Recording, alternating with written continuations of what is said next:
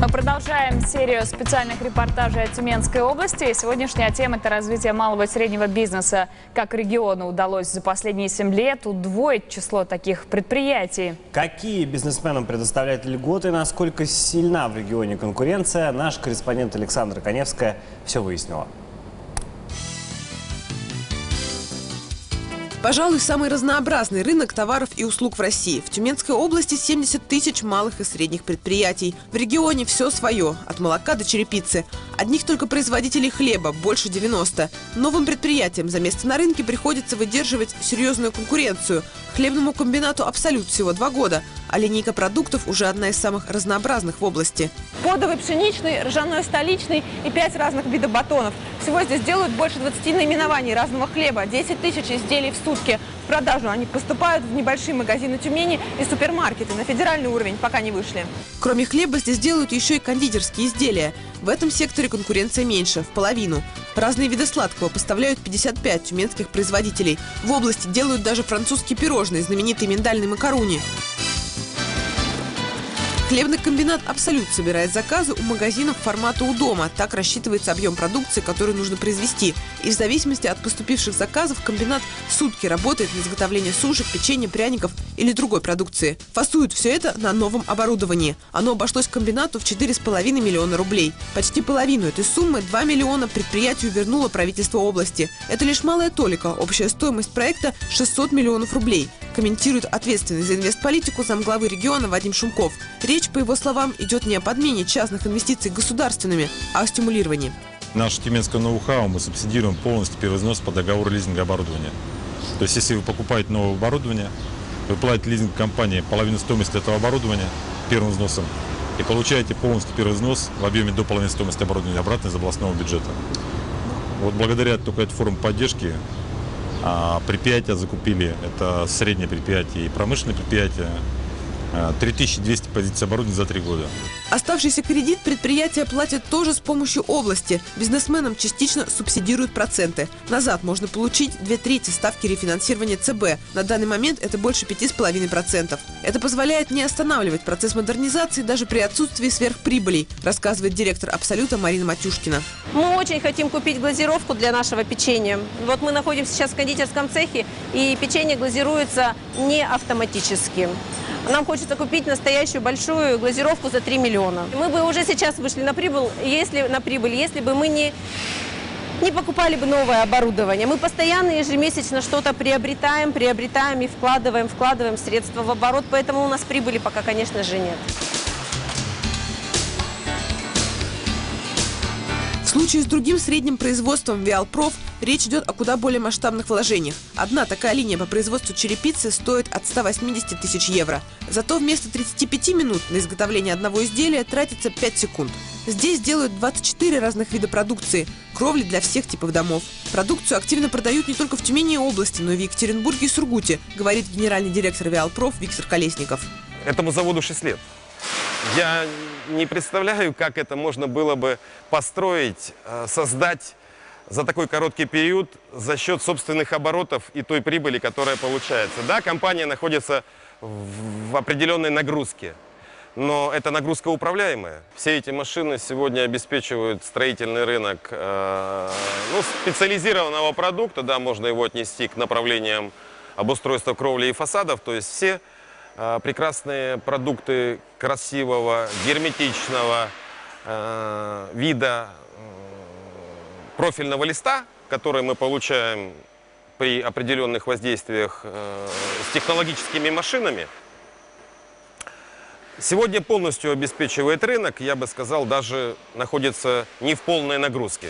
Такие программы по поддержке, компенсация первого взноса за новое оборудование, взятое в лизинг, и субсидирование процентов по кредитам действуют не только для крупных и средних производств, но и для малого бизнеса. Тюмень мебель-комплект – малое предприятие, где работает 40 человек, специализируется на мебели эконом-класса, столах, стульях и кухнях. Производство удалось ускорить в полтора раза, тоже благодаря закупке с помощью государства новых станков на сумму больше 2 миллионов рублей, комментирует менеджер по развитию предприятия Александр Кравченко. Новые станки позволили производить продукцию э, за более короткие сроки, в более короткие сроки э, и с минимальными затратами человеческих э, ресурсов, то есть и позволяет э, экономить э, ресурсы материалов, то есть э, меньше отбросов, меньше значит отходов, вернее, меньше э, расхода клея и так далее.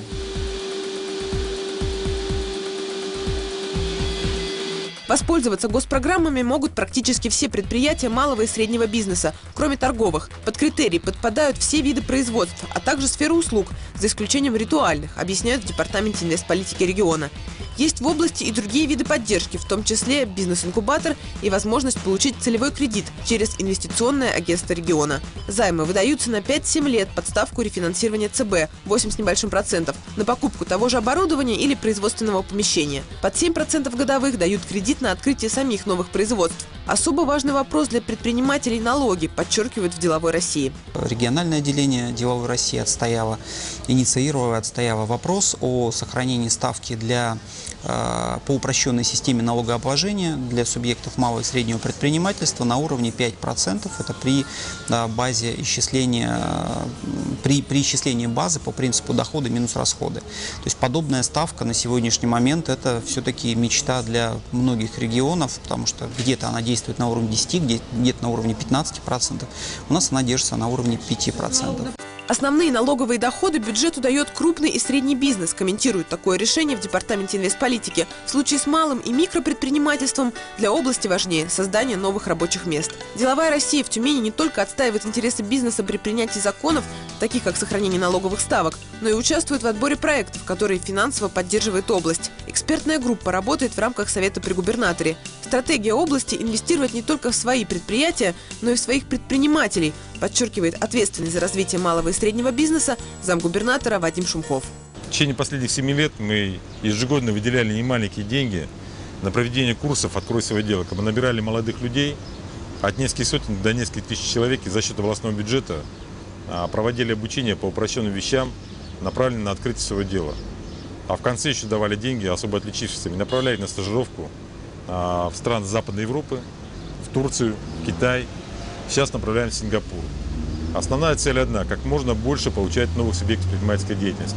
В результате увеличить число малых и средних предприятий за 7 лет Тюменской области удалось в два раза, при том, что в целом рост по России за этот период составил около 25%. Несмотря на то, что предприятий в этом секторе 70 тысяч, ниша для того, чтобы начать свой бизнес в области еще есть, уверены в правительстве региона. Например, в строительстве. В данный момент в регионе возводится полтора миллиона квадратных метров жилья. Область входит в четверку самых активно строящихся регионов России. Тюмени нужно больше собственного кирпича и стекловаток, говорит глава области Владимир Якушев, а также древесных материалов, поскольку 40% строящихся в области квадратных метров жилья – индивидуальное строительство. У нас э, область лесная, леса много, а мы рубим приблизительно 25% той лесосеки, которую должны рубить. А, Соответственно, это тот лес, который гниет сегодня на корню. Это неправильно, это неэффективно, это не экономично, поэтому сегодня мы очень плотно работаем над тем, чтобы таких перерабатывающих производств появилось как можно больше. Это, скажем так, номер один, над которым мы сегодня бьемся. Увеличить рынок товаров и услуг в области еще как минимум на четверть – таков план правительства региона на ближайшие два с половиной года. Александра Коневская, Игорь Дорошенко, Олег Нефедов, РБК «Тюмень».